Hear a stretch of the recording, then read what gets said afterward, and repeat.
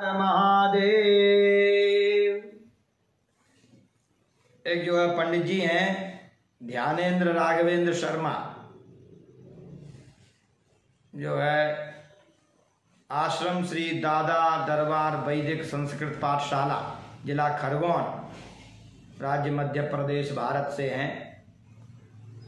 इन्होंने लिखा हुआ अपना गोत्र कौशिक। इनका कहना है कि आम की लकड़ी का यज्ञाद अनुष्ठानों में निषेध का वर्णन किस ग्रंथ में है? कृपया मार्गदर्शन करें। गुरुजी, प्रणाम। आपने ये जो कुछ दिन पहले लेख लिखा था कि आम की संविधा हवन में निषिद्ध है तो उसके बारे में बतलाइए, वो लेख प्राप्त नहीं हो रहा है। और भी तीन चार लोगों के ये प्रश्न आ चुके हमारे पास।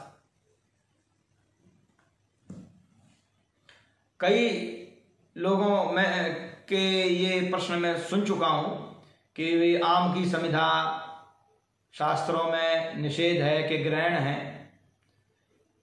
कुछ वर्ष पहले जब लॉकडाउन था, तब हमने एक लेख लिखा हुआ था कि आम की संविधा से हवन नहीं होना चाहिए।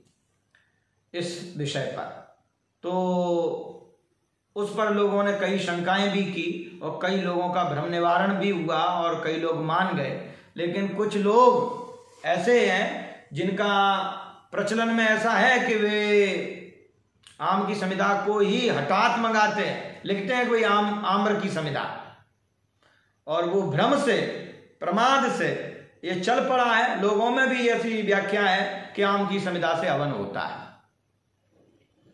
पर इसके ऊपर बड़ा चिंतन पूर्वक लेख लिखा गया है, शास्त्रीय प्रमाणों को रखते हुए, जिसमें ये दर्शाया गया है कि आम की संविधा इत्यादि कुछ वृक्ष हैं, जिन वृक्षों का हवन में प्रयोग नहीं होना चाहिए। तो इस संबंधी इनका प्रश्न है तो देखिए, आप लोग इसको सुने और धारण करें और विचार करें कि वास्तव में आम की संविधा ग्रहणीय है या नहीं है। तो हमने कुछ दिन पहले जो लेख लिखा था, उसी के आधार पर यहाँ वक्तव्य देंगे और बतलाएँगे शास्त्रीय प्रमाणों को रखते हुए। देखिए, शास्त्र में सर्वप्रथम तो ये बतलाया गया है, जो मैं बतलाता हूँ कि यज्ञ में कौन कौन से वृक्ष की लकड़ी का प्रयोग होना चाहिए? समिधा के रूप में तथा इधम के रूप में। समिधा दान करते समय और भी हवन करते समय जो काष्ट रखते हैं, यज्ञ काष्ट उस समय किन किन वृक्षों का काष्ट श्रेष्ठ है? देखिए। आन्यक सूत्रावली जो कर्मकांड का प्रमाणों से संग्रह करने वाला बड़ा विशिष्ट ग्रंथ है, प्रमाण उसमें संग्रह किए गए हैं तो उसमें वायु पुराण का वचन देते हुए वे कहते हैं कि पलाश फल्गुन्यग्रोधा प्लक्षाश्वत्थ विकंकिता उदुम्बरस्था बिल्वश्चंदनो यज्ञाश्चये सरलो देवदारुश्च, शालश्च खदिरस्तथा, समिदर्थे प्रशस्ता स्यु रेते वृक्षा विशेषतः। इसमें ये वृक्ष बतलाए गए हैं। ये वृक्ष जो है यज्ञ में विशेष रूप से ग्रहण करना चाहिए। ये यज्ञ वृक्ष है। समिदर्थ है समिधा के लिए।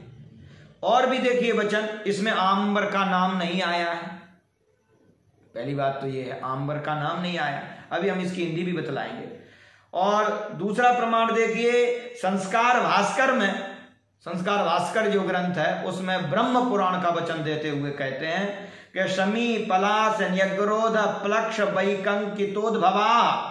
और वैतसो दुम्बरो बिल्वस चंदना सरलस तथा शालश्च देवदारुश्च खदिरश्चेत याज्ञ का ये याज्ञिक वृक्ष हैं।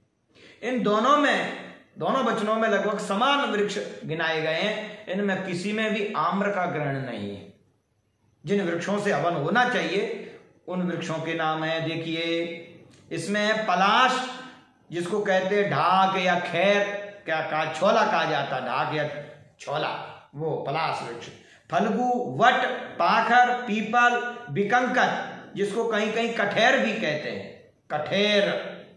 और गूलर, जिसको उदुम्बर कहा जाता है, उमर भी कहते हैं लोग। बेल वृक्ष, चंदन, सरल, देवदारू, शाल, खैर और शमी तथा बैंत का वृक्ष, ये भी अवन में ग्रहण है। दोनों में बेतस, दोनों जगह पे बेंत वृक्ष जो एक बाँस का ही दूसरा स्वरूप होता है, दूसरे तरीके जिसको बैंत कहते हैं इसकी बंसी इत्यादि बनती है, कुछ टेबल कुर्सी बनाते हैं, वो बैंत, उसका ग्रहण है हवन में। देखिए। तो इतने वृक्ष इसमें गिनाए गए हैं, इन वृक्षों से हवन हो सकता है। ये पंद्रह वृक्ष हैं। देखिए, यद्यपि सामान्य रूप से कांटे वाले वृक्षों का निषेध किया जाता है, जिनका हवन नहीं हो सकता, लेकिन वचन बलात् शमी, यानी छौकर जिसको कहते हैं, और राजस्थान में खेजरी कहते हैं जिसको, और बिल्व इत्यादि जो वृक्ष हैं जिनमें कांटे भी हैं, लेकिन फिर भी वचन बलात् उनका यज्ञ में ग्रहण है। यज्ञ काष्ट के रूप में उनका ग्रहण किया गया है शास्त्रों में। अब शास्त्रों में, देखिए, तीन तरीके के वचन हैं। एक तो बतलाए गए हैं कि ये यज्ञीय वृक्ष हैं। इनका यज्ञ में प्रयोग होना चाहिए। और इनमें से कोई यदि नहीं मिले तो तो कहते हैं कि सर्वेशम अप्यलाभे तू सर्वेशम यज्ञिया। ये वृक्ष यदि नहीं मिले, इनमें से एतेषाम अपि अलाभे। इनमें से ये पंद्रह सोलह वृक्ष जो गिनाए इनमें से सभी का अभाव हो। कोई वृक्ष मिले ही नहीं, किसी की भी लकड़ी। तो सर्वेशम ये यागी का यागिया तो सभी वृक्ष यज्ञ में ग्रहण कर लेना चाहिए। अब सभी की अभी व्याख्या आगे आएगी कि सभी में कौन कौन का ग्रहण है और कौन का नहीं है। ये यम का वचन है, यम स्मृति का, शौनक जी का वचन है। इसके अनुसार ये है कि कोई भी वृक्ष की यज्ञीय संविधा ली जा सकती है। कह और दूसरा वचन है, अनेक सूत्रावली में भी कहा गया है कि तद अलावे सर्व वनस्पति ना ये जो यज्ञ हमने, यज्ञ वृक्ष गिनाए, ये यदि नहीं मिले तो कोई भी वृक्ष ले लेना। परंतु जिनका निषेध है, उनको मत लेना। जिन, वो निषेध कौन से, बोले, अभी हम बतलाते हैं।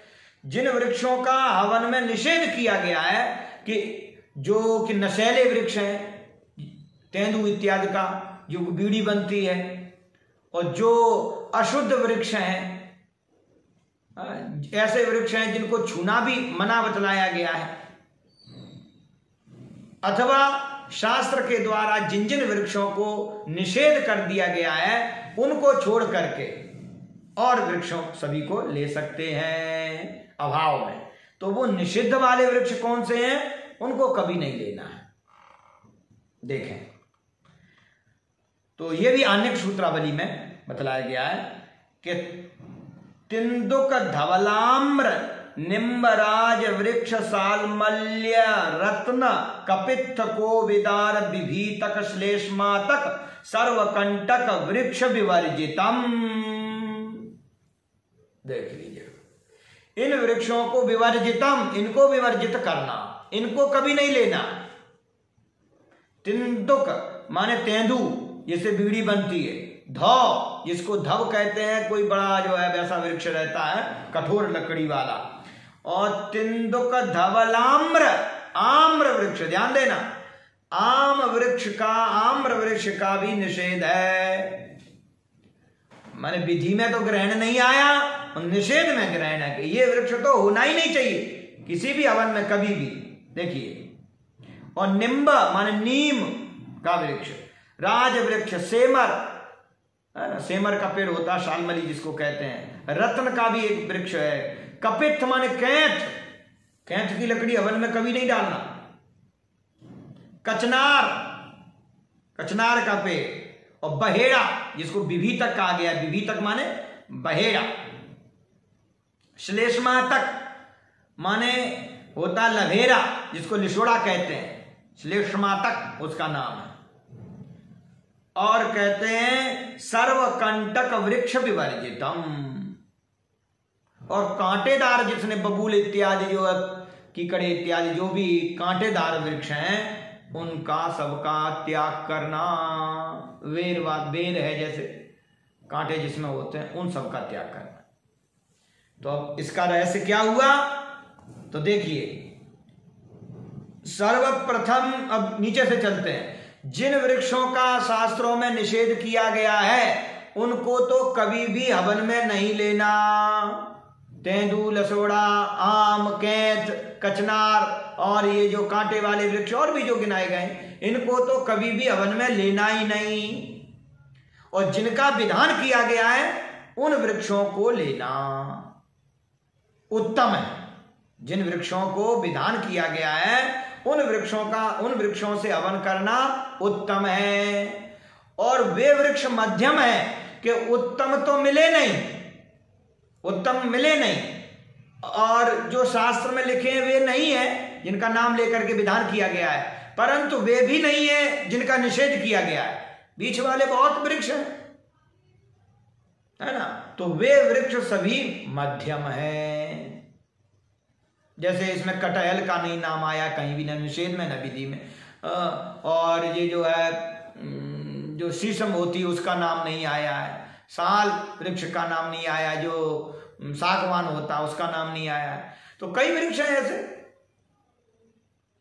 तो जिन वृक्षों का ना विधान है और न निषेध है तो विधान वाले वृक्ष न मिलने पर उनको यदि लिया जाता है तो वे मध्यमा, वे मध्यम कहे गए ठीक है? निषेध वाले तो कभी लेना ही नहीं है। तो उत्तम, मध्यम और अधम। जो निषिद्ध है, वो अधम है। माने त्याज्य है हे है। उनको कभी नहीं लेना चाहिए। ऐसा जो है, अनेक सूत्रावली में ही लिखा हुआ है। देख लीजिएगा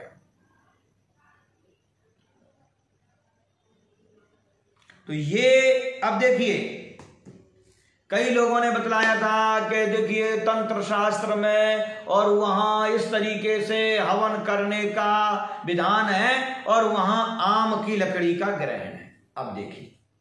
कई लोगों को मानना है कि देखिए भाई, आम की लकड़ी हमारे यहाँ बहुत दिनों से हवन होता आया है। ये करते हैं, वो करते हैं, वहाँ पुस्तक में लिखा है। पुस्तक में लिखा हुआ है यज्ञ मीमांसा कार की जो पुस्तक है ना? जो यज्ञ मीमांसा ग्रंथ है उसमें हिंदी में लिखा हुआ है, सामग्री किसी ने जोड़ी है, भले ही उन्होंने ग्रंथकार ने जोड़ी हो तो हिंदी में लिखा हुआ है कि जैसे लिखते हैं कब कर्पूर चाहिए, लौंग, इलायची, धूप, दीप, ये जो सामग्री लिखी होती है, वहाँ बाद में लिख दिया है कि आम की समिधा इतने किलो हाँ हवन करने के लिए। तो भाई ये कोई प्रमाण नहीं है। लोग उसको डाल रहे थे, देखिए यहाँ यज्ञ मीमांसा में लिखा। अरे वो सामग्री की लिस्ट किसी ने बाद में लिख दी या जोड़ दी या लोग जो लाते हैं, उस तरीके से लिख दिया। ये कोई शास्त्रीय प्रमाण थोड़ा ही। शास्त्र में किसी का वचन हो, किसी ऋषि महर्षि का वचन हो, वो मान्य होता है। कई लोगों ने एक तंत्र का उदाहरण दिया कि भाई देखिए, वहाँ इस तरीके से वचन आया, हुआ है, वहाँ अरे भैया, ये शुद्ध वैदिक स्मार्ट पौराणिक और ये शांतिक पौष्टिक हवनों की बात चल रही है। वो वहाँ किस प्रसंग के कौन से हवन की बात है? देखिए, तंत्र में तो मारण, मोहन, वशीकरण और उच्चाटन आदि के संबंध में जो तामसी प्रवृत्ति के जो हवन है, उनमें हवन सात्विक, राजस और तामस होता है। तो हमने जो आम्र की लकड़ी का निषेध बताया, वो सात्विकी हवन में निषेध है, राजसी हवन में भी निषेध है। वो जो तामसी हवन में की बात यदि आप कर रहे हैं या कोई ऐसे मारण मोहन, वसीकरण, उच्चाटन सम्मोहन आदि में होने वाले हवनों की बात कर रहे हैं तो वहाँ से जहर से भी हवन होता है। विष से। हर तालिका जहर है, विष है, हरता, उससे हवन होता है। लोहे की कील से हवन होता है। मिर्ची से हवन होता है। सरसों के तेल में डुबो करके कई अमेध्य पदार्थों का भी हवन होता है। किसी पुष्प से होता है। आयुर्वेद में बताया गया है कि जो रोग हो, ध्यान देना, जो आपको रोग है, पेट का रोग है, हाथ का रोग है, कहीं भी रोग है, उस रोग के निवारण की आयुर्वेद में जो औषधि लिखी है, उस औषधि उस रोग के निवारण के लिए हवन करें। ये लिखा हुआ है। तो ये तो एक अलग प्रकार की बात हो गई ना। अब इसी रूप में किसी को कोई चाहता है कि भाई हमारे आम आ जाए, आम के पेड़ लग जाए, आम का ये हो जाए, इस दृष्टि से आम की लकड़ी का हवन करके कोई करता है, या कोई कहीं शास्त्र में विधान है कि वो मारने के लिए मोहन वसीकरण या कोई विशेष कार्य करने के लिए, और यहाँ आम के छिलके का या आम की गुठली का, आम का, आम के पत्ते का इसका हवन होता है तो वो जो बात है वो अलग बात है, वो तो तांत्रिक बात है, आपको करना हो तो ठीक है।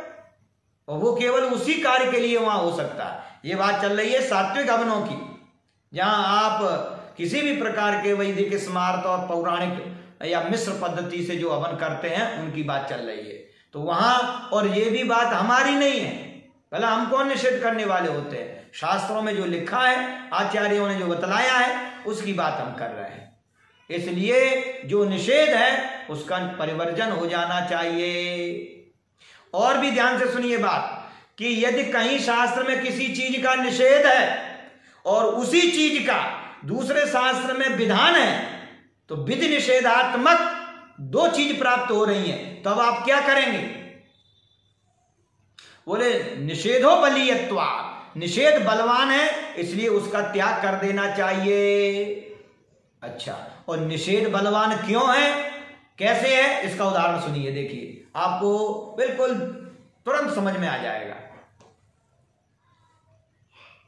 कोई खाद्य पदार्थ है, दो आपके मित्र हैं, और कोई लड्डू या जो है रसगुल्ले, जो भी आपको पसंद है, वो संभार रखा हुआ है। एक मित्र आपको दे रहा है, दूसरा कह रहा है कि नहीं भैया, इसको मत खाना, इसमें जहर है। एक कह रहा है कि नहीं, खाओ अच्छा है, हम आपके मित्र हैं यार, आप नहीं खा रहे। और दूसरा कह रहा है कि नहीं भाई, हम भी आपके मित्र हैं, इसको मत खाओ, इसमें जहर है। तो अब आप क्या करेंगे? दोनों ही समान, तुल्य बल विरोध है। तुल्य बल विरोध होने पर क्या करेंगे? तो निषेध बलवान होता, भैया, हम इससे लड्डू आपने दिया, हम सम्मान कर रहे हैं, लेकिन ये भी मित्र है, ये कह रहा है अगर कोई वास्तव में कहीं हुआ तो अनर्थ हो जाएगा। इसलिए इनको तो अब हम जो है रख ही देते हैं, इनको नहीं खाते। क्या आप खाएँगे? आपके दो बेटा हैं एक बेटा कहे कि नहीं इसमें ये है और दूसरा कहे नहीं नहीं इसमें सांप मुँह लगा गया था या ऐसा जहर था वो थोड़ा सा गिरता हमने देखा है। दूसरा कहे कि नहीं ये झूठ बोल रहा है नहीं देखा। अरे हमने देखा है। भाई ये देखा या नहीं देखा इनको अनदेखा करते हैं।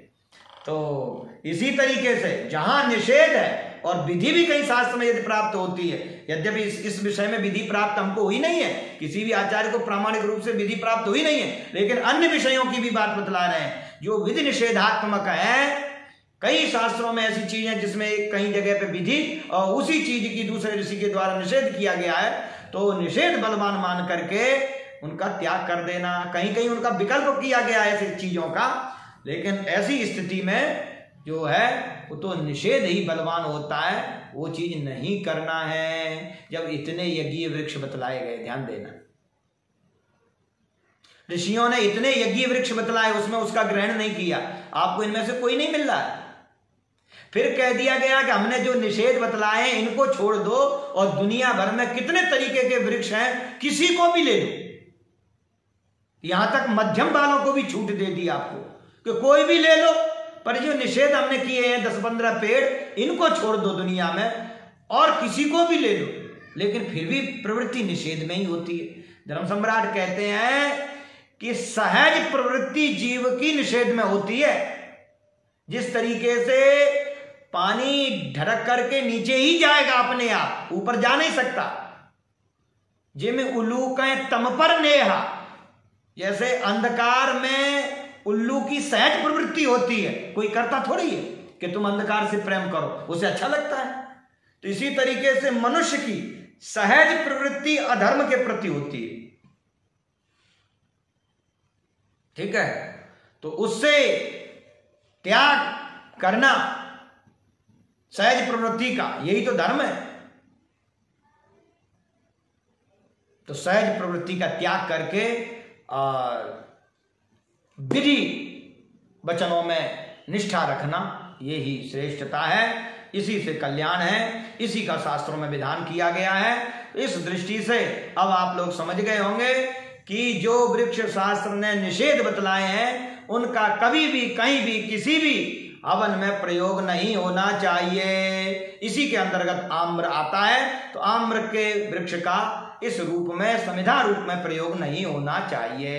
हाँ आम के पत्तों का पंच पल्लव में विधान है। आम कोई निषिद्ध वृक्ष नहीं है कि ऐसा निषेध नहीं है, हाथ नहीं लगाया जाए, घर में नहीं लगाया या बाहर इत्यादि नहीं लगाया जाए। बाग न लगाया, आम खाया नहीं जाए, आम का फल भगवान को निवेदन नहीं किया जाए। इस रूप में निषेध नहीं है, लेकिन शास्त्र ने उसकी काष्ट का, उसकी संविधा का हवन करने में निषेध किया है तो उसका हम सभी को बिल्कुल परिपालन करना चाहिए। इसमें यह तर्क नहीं देना चाहिए कि हमारे यहाँ तो बहुत दिनों से होता है, वे पंडित जी कराते थे, ये कराते थे।